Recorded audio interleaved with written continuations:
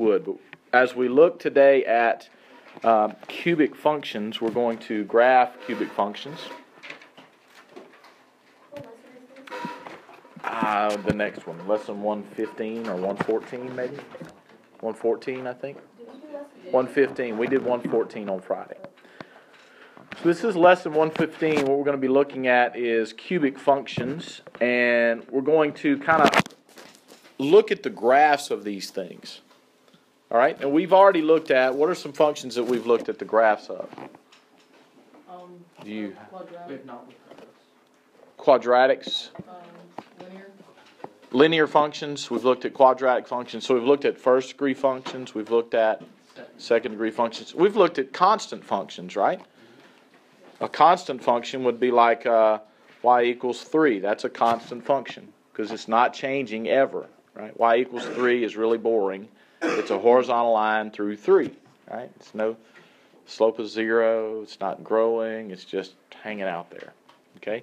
So that's a constant function, and if we looked at something like y equals 3x, has a drastically different uh, shape, right? It has a slope of 3, so it's changing, it's growing, it's doing. And then if we looked at something like y equals 3x squared, again, it changes the shape of the graph, right? And then if we looked at something like y equals 3x cubed, it's going to change the graph again. But how is it going to change? Okay? What's different about cubic functions and quadratic functions that we could talk about based on the theories that we've looked at? All right, so let's let's kind of do a quick review. That's what a linear function looks like. Point out some characteristics of a linear function. Straight, yeah, constant yeah. It has a constant slope. The rate of change is constant. Right. The slope of this line is one. Right. The slope of the line we're looking at is one. It rises one. It runs one. It rises one. It runs one. The slope is constant. That's an excellent observation. What else can we note about it? It only goes through two of the quadrants. Uh, it actually passes through three quadrants, but it's primarily headed in the direction of two quadrants, right? It's going to be up. What else do we know here? Buster? It only has one solution, right? And the solutions on the graph are identified as what? X intercepts. There's only one X intercepts. Now, do all lines have X intercepts? No, they don't. Like uh, a horizontal line that doesn't go through the origin doesn't have an X intercept. But every other line, except for a horizontal line, will have an X intercept, right? Somewhere, somehow, it has one solution. And we would expect that because it's what? What's its degree? First degree, and we would expect a first degree uh, equation in one variable to have one solution. Okay, the reason that a horizontal line doesn't have a solution is because it doesn't have the x variable. Right? If it doesn't have an x value, then how is it going to have an x intercept?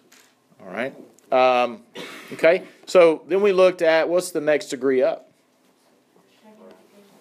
Second degree, quadratic expression. Observations here.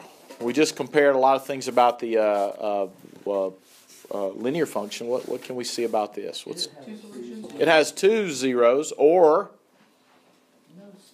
no zeros or one zero, depending on where it is, right? But it has two solutions in some field, right? If, if, if the discriminant is negative, we talked about the discriminant. If the discriminant is negative, then it has no real solutions, but it still has two imaginary solutions. Uh, but if it has no real solutions, it's not going to cross the real x axis and it's going to have no solutions. All right, what, what are some other things we notice here? Curved. It's curved instead of straight, which means the rate of change is varying, right? It's increasing at different rates at different places on the graph, right? Because it's curved, the slope isn't constant. The thing that makes a line straight is that its rate of change is constant. Everywhere on the line, the slope is the same, the rate of change is the same. Okay? Now, what kind of differences, before we actually graph the cubic function, what kind of differences could we expect? You could have some parts where, where it's straight and where. Mm, It could be a circle. no, it can't be a circle. Three solutions, right? So if we were looking at this, everybody listen and pay attention and avoid the uh, temptation to attempt to be funny. Um, a cubic function can have three zeros. Now, it wouldn't have to look like this. It wouldn't have to look like this. Okay, but you know, it's going to have three up to three x intercepts, three solutions, three roots, three zeros. It could look uh, like this. I mean, it could come down and have these same three zeros. It could look like this. Okay, but let me ask you this: Could it ever come back down over here and touch again? No, Why not? because that would have to be. Because it would have to be a fourth degree solution in order to do that. Okay, so if we can cross the x axis three times, that determines what our shape is always going to look like, right? It's going to go down and then up and then down again, and that's all it can do. It can't come up again. So the shape of a cubic function is always going to look the same, just like a quadratic function always has the same shape. Now, what it does in the middle could be different, but what it does on the outsides is always going to be the same. It's always going to be, go up on one end and down on the other end. Up on one end and down on the other end. That's what a cubic function is always going to look like. Now, what did the quadratic function look like? It always ended up going up on both ends or down on both ends because it can only go through it twice. So it comes down, it has to go back up, and then it can't come back down again because then it would have to be a cubic function. So this is what those highest exponents are doing to the graphs of these functions. Okay? Now, let me ask you something else. Let me point out something else that we've talked about. Does a quadratic equation have to have a real solution? No. No. Does a cubic function have to have a real solution? I'm hearing people say yes and hearing people say no. Can anybody justify their answer? Flowers? Well, if one, if both ends are going in opposite directions, it has to touch the x-axis at some point. Right. Because both ends are going in opposite direction, one's going down and one's going up, it has to uh, touch the axis at some point. Now, what's another fact that I just gave you just about three or four minutes ago that should help you know that it will always have a real solution? Imaginary solutions come in pairs. Imaginary solutions come in pairs. So, can we have three imaginary solutions? We cannot. Okay? We can't have three imaginary solutions, which means one of the three solutions to this third degree polynomial has to be real. All right? So, algebraically, reasoning, what we know about polynomials, what we know about the fundamental theorem of algebra, those things come into play when we're dealing with these polynomial functions. Brent? Do you graph imaginary numbers the same way you do normal numbers? You do. You do not, and you'll get into that in uh, um, advanced math, college algebra, college trig. Will you'll advance? It's it's uh, complex numbers, a different plane. Yes. So I noticed when I was graphing like higher exponents, it always followed the same pattern. Like every even exponent was like a parabola shape, and every odd was like that shape. Then we should expect that, right? It starts out that way. Odd degree, odd degree. You know, one end is up, one end is down. So first degree functions down and up, and the line. If you the only the only other thing it could do is go, you know, down and then up, negative slope instead of positive slope. Um, this one is going to either do this, or if you turn it upside down, what's it going to do? It's going to look left. And then the cubic function is going to always look like this. The cubic function is going to always go um, up on one end and down on the other end. And then it starts repeating itself. X to the fourth looks like this. X to the fifth looks like this. X to the sixth looks like this. X to the seventh looks like that again. All right. Now, what it does in the middle, an x to the seventh, for example, could touch the x axis seven times, but on the outsides, it's going up and down. You know, so um, this is kind of like an even function, you know, an odd function. Is what we do. Odd function. even function. Both hands doing the same thing, it's an even function. If both hands are doing opposite things, it's an odd function. Um, and that's not the. Now listen, everybody listen, listen. You're you're missing something. Trying to be funny again. The even and odd technical definition of an even and odd function is a little bit more complicated than that. Um, but I'm talking about even powered functions, even degree functions. All right, so sixth degree functions look like second degree functions, look like fourth degree functions on the ends where, where the function counts. Okay, all right, so let's make some observations here. Um, an nth degree polynomial function can have up to n real solutions, also called x intercepts, zeros, or roots. Okay? Graphically, we can call these things different different numbers, right? Different things that can take on different names. Odd degree polynomial functions must have at least one real root. And why did we establish that odd powered functions have to have one real root? Imaginary solutions to polynomial functions come in conjugate pairs. Right? So if it has one imaginary solution, it has two. Okay? Um, and that's a couple of facts that we need to know. This is some pretty advanced algebra theory here. All right, so evaluate the cubic parent function, y equals x cubed, and the function y equals negative x cubed for those x values and graph the two functions. Now, what are they telling us to do here? Make a table of values using these domain values, and then just plot the points to see what it's going to look like. So, so let's do that. Let's take this, and we'll do y equals x cubed on this side, and they want us to do y equals negative x cubed over here. Let's do a different color for that. You ought to be writing. Don't, don't let it get ahead of you. So we're going to plug in x values and get y values out. They gave us the x values that they want us to use. Remember, this is the most basic rudiment, rudimentary skill for factoring is to um, pick values and plot points. So the points that they want us to pick here, focus, buddy, are negative 2, negative 1, 0, 1, and 2 in both cases. Now, kind of as a general rule, guys, the higher the degree the function is, the more points you have to pick to determine the shape. Because the shapes get a little bit more complicated um, as you get higher powers, especially if there's other degrees available. If there's an x squared along with this x cubed, it really does affect the shape for small values of x, values that are close to zero.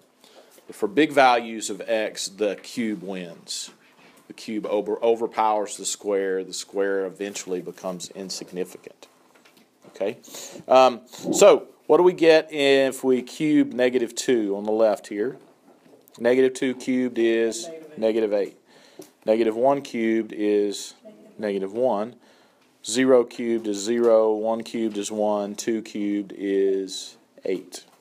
And what I've generated here is points that I can use to determine the shape of this graph. Now, what's going to change over here if I just put an extra negative in for my y value? The, the this becomes positive 8, this becomes positive 1, 0 stays the same, this becomes negative 1, and this becomes negative 8. All right, so if I look at the graphs then, if I plot these points here, and I'm just going to not be real super detailed, but let's do y equals x cubed. Negative 2 goes to negative 8. Negative 1 is negative 1. 0 is 0. 1 is 1. And 2 is 8. And it has this curved shape to it, like this. That's what y equals x cubed looks like. All right, y equals negative x cubed. Uh, negative 2 goes to positive 8. It's too far over. Let's go there. Negative 1 goes to positive 1. 0 stays at 0. Then we go here and here. And the shape of the graph looks like this. So really y equals negative x cubed is just kind of a flip it, rotate it around the axis is what we do there. Uh, flip it down and it becomes um, that. All right, so that's what those two graphs would look like. Now you could examine any of those graphs, any uh, power function, by picking points and plugging them in, finding the shape of the graph by plotting the points. Okay? If this says solve by graphing, we're going to do it uh, differently. Excuse me, I didn't mean to switch out of that. What I want to do here is take this algebraically. I want to challenge you guys to solve a few of these algebraically. Graphing, if we're going to use graphing, we're going to use our graphing calculators and get as close to exact as possible. We're not going to do a crude graph by hand to solve by graphing when we have a graphing utility that we can use to get an exact answer. You should be writing this down already. 0 equals x cubed minus 1. How would we solve this, you think, algebraically? Any ideas? Why? So that you can get like You want to get the x value by itself, right? So it's kind of like the property of squares. We can solve a square if we can get something squared equals a number and take the square root. If we can get the cube part isolated by adding 1 to both sides, and I get 1 equals x cubed. Okay?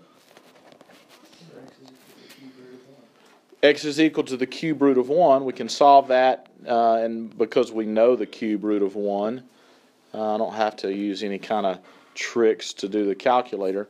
We get this, and that gives us the solution of x equals 1.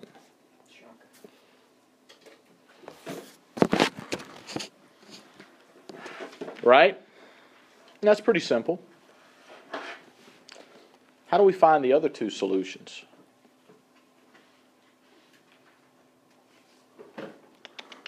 So here's the deal, guys. I'm throwing this out there, let it stick. You guys at the end of your algebra 1 class. There's three there's three cube roots of 1. How many square roots of 4 are there? 2, right? It has a positive root and it has a negative root. 1 has 3 roots. 1 is real. 2 are imaginary. So there's two imaginary numbers that you can cube to get positive 1. All right? I'm not going to. Yeah, I am. If I take this original equation,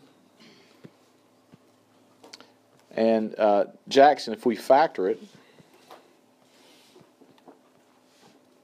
I didn't teach you how to do this, but the factorization of this, I've taught Jackson, is this. That's how you factor cubes. There's a pattern there. It's not difficult at all. Here we can see the zero, x equals 1, right?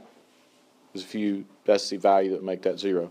And we could solve this by doing x equals negative b plus or minus the square root of b squared minus 4ac all over 2a.